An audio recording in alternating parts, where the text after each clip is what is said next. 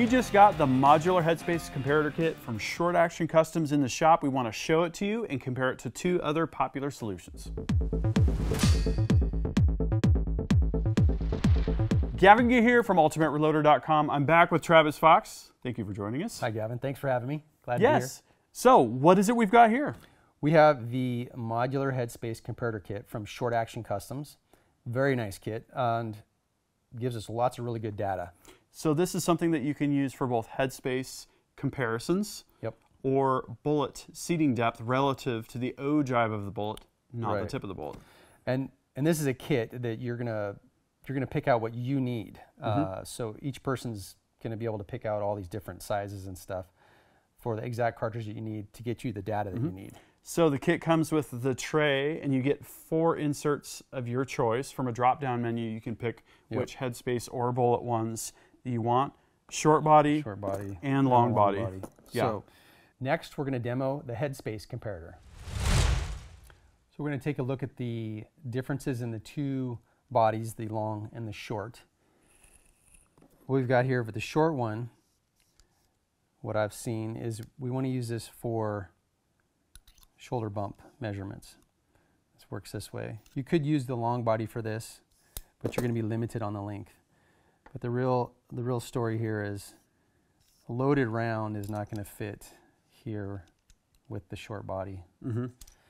Thus, will hit the jaw of the Right. caliper. Yeah. thus the long body you have space for the bullet Mhm. in here. And There's this here. So so when you could do bullet or headspace with the bullet seated. absolutely Yeah, and that actually is really handy if you want to use it as a reference, a loaded cartridge, yes or if you want to double check to see where your headspace is at, even after you've seated bullets. yes. So now these are super easy to change. They just snap in. There's a little O-ring in here. It's set on this bevel. To, Yeah, cut on a taper. It's Yeah. really nice for how it seats in there. Yeah, they seat in quite nice. show you how this works here. You snap right in, very positive, Yep. very solid. So if we want to measure these dasher cases, This is off the custom that I built. Alpha munitions brass. So what have you got there? Which which case is that one? zero out. This is the new case, Okay. unfired, zeroed out. We should be running, what, between 10 and 20, depending on our heads. Uh, 15. one. One, That's uh, 1.5 thousandths. Yep. yeah, 1.5. Or 15, 10 thousandths. It's exactly, exactly where it should be. Yeah, and I, I like to I like to use this headspace comparator measurement for brass in kind of two ways. One is we've got new brass, and then we've got a rifle that blows the shoulder forward a certain amount. To look at how closely fitting new brass will be in a particular rifle, and as we can see here, it's within a thousandth and a half. Yep. That's good. Why don't you show us your headspace measurement when you're gunsmithing? Yeah, absolutely. The other thing was when you're going to bump the shoulder, it's already been formed to your chamber. You want to go back a certain amount, and that would be about one and a half thousandths. Yep. So I would set that back to what Alpha had it from the factory, which is pretty awesome. Okay, so I'm going to put in the 6.5, and this is the the 30 degree shoulder. I've got a couple. These are 6.5 PRC go and no go gauges. I like to have this kind of tool system available when I'm chambering rifles because you want to know exactly where you're at with respect to your go and your no go gauge, or maybe even compare two different brands. There can be slight differences, even though ideally they would be exactly the same. So I've got the go gauge here. I like to spin these just a little bit so you can feel things seat perfectly flat. So I'm going to zero that out on the go gauge. Now, typically, a standard no-go gauge is going to be five to six thousandths longer than the go gauge. So the bolt should go down on a go gauge. It should not go down on a no-go gauge. Here we have five and a half thousandths. So that falls right in the middle of the range. Now, when I chamber rifles, I actually like to get it within two thousandths of an inch. So I'll put a piece of scotch tape on the back, and then I can check to see how much difference there is to confirm that I am indeed two thousandths longer. So I'll have it close on the go gauge, not close on the go gauge plus two thousandths of an inch. So a bit tighter tolerance. Next, let's talk about bullets. So if you're looking close in that demo that we just did, you'll see that there's the bevel cut at the same angle as the shoulder is for the headspace measurement that you're taking. And the bullets are similar, aren't they? Very, yes. They have taken a three degree bevel on the insides of the bullet comparators so that it measures, it matches up to your lands of your rifle. Mm-hmm. You can definitely feel this when you take the bullet and you seat it in here. It, it it's just like when you chamfer the neck on your Mhm. on your brass. It's mimicking that angle of the ogive of the bullet. So you set this in here and it does not wobble. It sits in there. It's got a much greater surface contact area. So this is how you could measure your bullets if you wanted to measure ogive to base length. Mhm. Now, since it's so easy to do this, pop these off, flip them on, take your loaded round. There's your ogive to Yep. base length.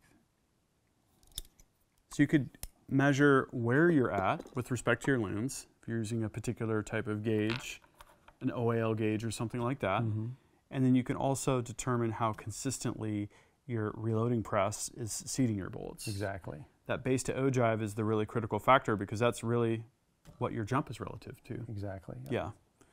Very nice. Okay, so why don't we next compare to different products that are already on the market? So here at Ultimate Reloader, we actually use all three of these systems. It's kind of a good, better, best model, and the pricing scales accordingly. Yes. We're talking about approximately $45 for the Hornady Headspace kit itself, about $75, $80 for the datum dial from Forster Products. And then if you add the bullet comparator, that's actually separate. Short Action Customs is coming in about $170 plus or minus. That's the current pricing is at the time of this filming. Correct. And you can see here, approximately 10 years ago, I went to the effort to make this Yeah. this tray. It's labeled by diameter and insert number for the Hornady set. I made something just like it for the Headspace comparator. Well, you don't have to go to that trouble with the Short Action Customs kit because they have this totally bling, Yeah. you know, billet set for you. Yeah. Uh, but what this offers that neither of the others do is that a la carte capability. Right. You know, I know a lot of you have oddball cartridges that you're working with, that you're loading for, that you're doing brass prep for. You're going to get exactly what you need and nothing else. So you can always order different inserts kind of after the fact. Yeah, with 40 different headspace gauges Mhm. to pick from, you'll find the one you need. Yep. And you'll see these other tools in the other videos. The datum dial is a really nice set. It's got this ball ratchet that goes through sort of a telephone dial type uh, arrangement here. You've got the different uh, datum diameters labeled. You've got bullet comparator wheels that you can put on. They're they're quick and easy to change. Uh, not quite quite as quick as snapping in the inserts from Short Action Customs. The Hornady comparators, both for the bullets and for the headspace, have a sharp hole, and you know that has pros and cons to it as well. Ideally, if everything's machined perfectly, you can do an exact SAAMI base to datum measurement. Short Action Customs is not designed optimized for that. It's optimized for those shoulders and a bit Right. more bearing surface between the tool and whatever it is that you're taking readings from. Yep. We have lots of lots of choices to use here. They all work very well. Um, Really depends on what you're after Yeah. and what your budget is. Yeah. exactly. So you're going to want to check out those other videos that I have on the other products. And uh, I think we're going to get a lot of use out of these tools. What do you think? I think we will. yep. Definitely. Awesome.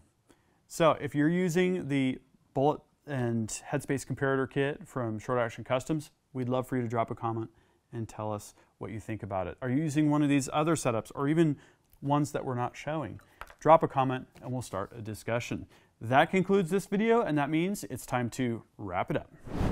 I hope you liked this video. If you did, please give it a big thumbs up. Also, make your voice heard. If you have something to say, please drop a comment. Make sure you're subscribed with notifications because you're not going to want to miss the awesome content that is coming up. And finally, flex your reloading pride. You could look great in one of these t-shirts. We've got multiple designs at the Ultimate Reloader store. I'll see you later because I'm off to go shooting.